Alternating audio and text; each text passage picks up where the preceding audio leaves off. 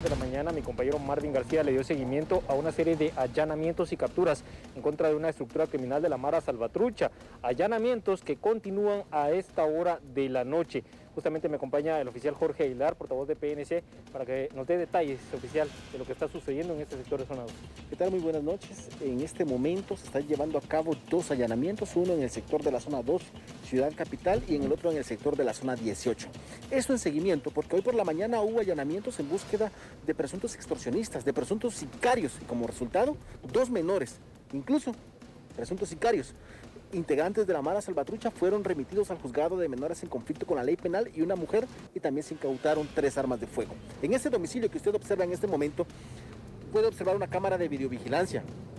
Esto es una de las situaciones que se pudo observar en todos los allanamientos y hay tres armas de fuego ilegales en el interior, municiones, chalecos antibalas, documentos que los relacionan como miembros de la Mara Salvatrucha también, al igual que se pueden observar a dos personas que están siendo identificadas, que seguramente serán puestos a disposición de los tribunales correspondientes. Al momento, el operativo continúa por parte de la División Nacional contra el Desarrollo Criminal de las Pandillas de Panda y siempre agradecemos la denuncia a través del teléfono 1574. Es el número contra las extorsiones y este es el resultado, la detención a este momento de más de cinco personas y la incautación de seis armas de fuego, chalecos antibalas e incluso granadas de fragmentación que fueron incautadas en el sector de la zona 5.